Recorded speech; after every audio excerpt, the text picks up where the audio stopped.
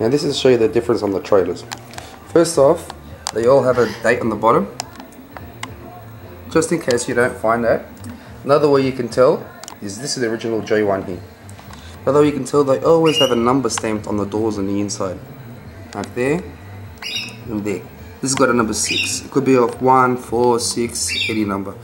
These ones do not have a number in that area. Two, you'll notice that the original G1 always has a dark purplish color compared to the blue. Encore's reissues always have a bluish color. Another way you can tell is by the missile launchers. The original G1s have full round rocket, uh, rocket holders, sorry, missile launchers. So you can put the missiles in any way.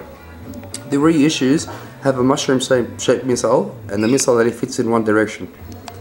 So here we get to the missiles. You can see these are fully rounded, the original G1s. And the reissues uh, only have a slit on one side. They got the same mushroom shape as the, as the launcher. Another way you can tell is by the petrol pumps. Now the original G1's always a shiny black and the reissues are always a faded dull black. Also you'll notice the reissue has lines inside that little section right there and the original one doesn't. Final way you can tell is by the stickers. Now the sticker sheets on the original G1s are all red. The new ones are pinkish. Another way you can tell is these have small little arrows there. The reissues have wider ones.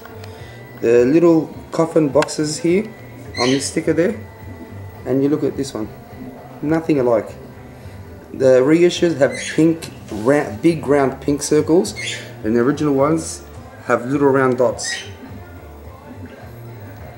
should be able to tell by that color well, I hope my little video has helped you to teach, uh, tell the difference between an original G1 and a reissue or an encore